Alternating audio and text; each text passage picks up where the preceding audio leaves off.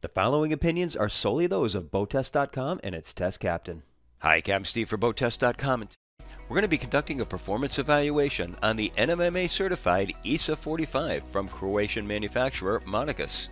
Placing stability and ease of handling at the forefront, this custom Downeast style cruiser made her debut in the US just this year, and we were looking forward to having a closer look. Let's begin at the helm. Elevated 6 inches from the salon deck, Monachus went with a center mounted helm for the Issa, which provides better all around visibility. Vertically mounted is a single 15 inch Garmin MFD. To each side of the main display are Yanmar engine displays with their respective start stops to the outsides, actuated via a security fob. Just above are the water, fuel, and waste gauges, and just below are accessory switches. Trim tab controls are to the bottom right. The custom 14 inch wooden wheel is vertically mounted to a fixed base. From lock to lock, we counted seven and a half turns. The engine controls are mounted off to starboard at a 15 degree angle. The bow and stern thruster controls are just a port of the wheel. A flexible red chart light is also to port. We'd like to see the top of the console fitted with some type of anti-glare finish and perhaps a compass. The adjustable helm chair is finished in Alcantara leather and has a diamond stitched pattern. A footrest is below. A stainless steel grab rail runs along the starboard side of the helm chair. The port side companion bench is also upholstered in Alcantara leather. There's storage beneath and shelf space just forward of the bench. The main breaker and battery switch panel is concealed behind a port side cabinet. Mind the step when transitioning to and from this area.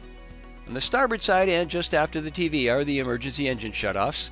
Just forward of the TV are the boat's quick gyro stabilizer controls and VTE generator controls, both which we'd like to see at the helm. The team at Monachus tell us that the same group that worked on Bugatti and Maserati cars also produced the Issa's windscreen. Tinted and wrapping around it provides a panoramic visibility. While looking aft through the side pane, we could practically see the transom. The 45 comes standard with an electric sunroof. The sunroof is tinted. In addition, there are manual sunshades above the helm and companion bench. We access the side decks via two 8 inch steps to either side of the aft deck. Width ranges from 13 inches to 20. Stainless steel lifelines have an average height of 2.5 feet. Toe rail height is 5.5 inches and cap rail width is 5 inches. 9 inch midship cleats are to both sides. The ground tackle was neatly configured atop the boat's teak decking. Rode lockers are to port and starboard.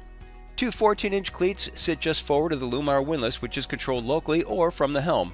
Stainless steel cleats sit atop the transom gunnels to port and starboard alongside roller chocks. The engine compartment is accessed via two hatches in the aft deck. The underside of the hatches are finished with soundproofing and supported by gas assist struts. Of course, the focal point inside being the twin Yanmar diesel 440 horsepower engines.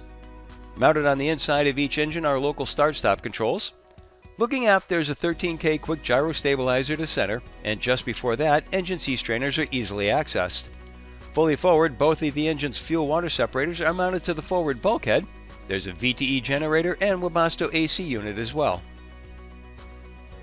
The Issa 45 has an overall length of 45 feet 4 inches, a beam of 13 feet 8 inches, and a draft of 3 feet 9 inches. With full fuel and two crew members, we had an estimated test weight of 23,751 pounds. With 10 mile per hour winds and choppy conditions, we reached an overall top speed of 31.3 miles per hour at 3180 RPM. Best economic speed was measured at 26.4 miles per hour, where the 27 gallon per hour fuel burn gave us a range of 162 statute miles, all while holding back a 10% reserve of the boat's total fuel capacity. The Issa 45 has a freeboard height of 4 feet at the stern, 4 feet 2 inches midships, and 5 feet 4 inches at the bow. The Issa 45 handles well compared to boats in her class and was especially smooth during waves. Crossing our camber boat's wake wasn't any big chore and the gyro kept her pitch and roll in check. Turns were sedate, coming around 180 degrees in 40 seconds at cruise power. When it came time to head in, access to the slip was narrow and since we were backing in, we spun around our axis with ease. The pilings in front of the dock were closely spaced and once alongside the dock, we nudged over with short bursts of the thrusters for an easy tie-up. With her warm tones, natural wood finish, and general arrangement, the Issa 45 is a welcome addition to the already timeless Downeast style boats.